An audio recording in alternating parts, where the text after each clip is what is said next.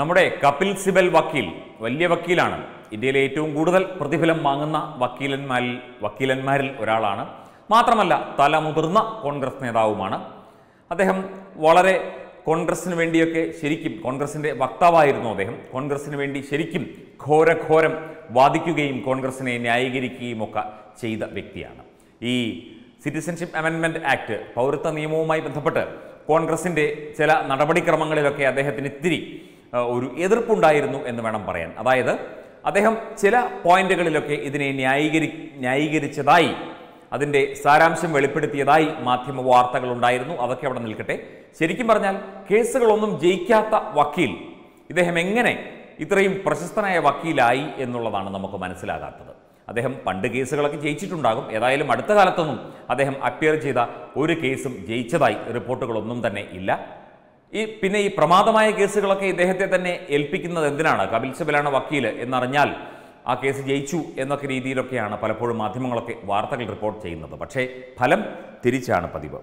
ഈ കപിൽ സിബൽ വക്കീൽ ഇസ്ലാമിക തീവ്രവാദ ഗ്രൂപ്പായ പോപ്പുലർ ഫ്രണ്ട് ഓഫ് ഇന്ത്യയുടെ കയ്യിൽ നിന്ന് പണം വാങ്ങിയതായി ദേശീയ മാധ്യമങ്ങൾ റിപ്പോർട്ട് ചെയ്യുന്നു.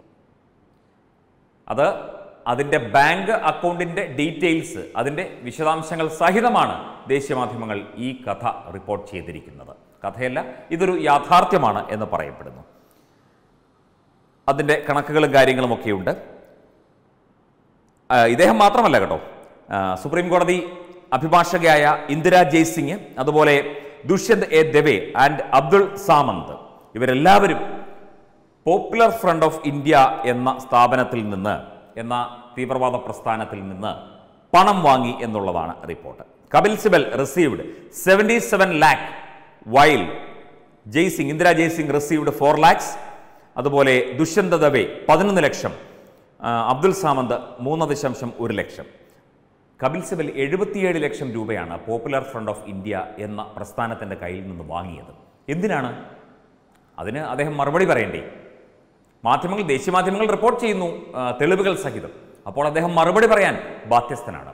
പോപ്പുലർ ഫ്രണ്ടിന്റെ പ്രമാദമായ ഏതെങ്കിലും ഒരു കേസ് കപിൽ സിബൽ വാദിച്ചതായി നമുക്കറിയില്ല ഇനി രഹസ്യമായി എങ്ങാനും വാദിച്ചോ എന്നുള്ള കാര്യവും നമുക്ക് വ്യക്തമല്ല. അദ്ദേഹത്തിന്റെ ബാങ്ക് അക്കൗണ്ട് വിവരങ്ങളൊക്കെ തന്നെ ഇതിനകത്ത് കൊടുത്തിട്ടുണ്ട്. മാത്രമല്ല വേറൊരു കാര്യം കൂടി പറയുന്നു. നൂറ്റി കോടി രൂപ പോപ്പുലർ ഫ്രണ്ടിന്റെ അക്കൗണ്ടിൽ എഴുപത്തി മൂന്ന് ബാങ്കുകളിലായി ഇന്ത്യയൊട്ടാകെയുള്ള എഴുപത്തി മൂന്ന് ബാങ്കുകളിലായി വിവിധ ബ്രാഞ്ചുകളിലായി നൂറ്റി കോടി രൂപ പോപ്പുലർ ഫ്രണ്ടിന്റെ അക്കൗണ്ടിന്റെ വിശദാംശങ്ങൾ കണ്ടെത്തിയിരിക്കുന്നു. മാത്രമല്ല കപിൽ സിബലിന് കൊടുത്തത് വിവിധ ബ്രാഞ്ചുകളിൽ നിന്നാണ്. ബാങ്കിന്റെ പേരില്ല.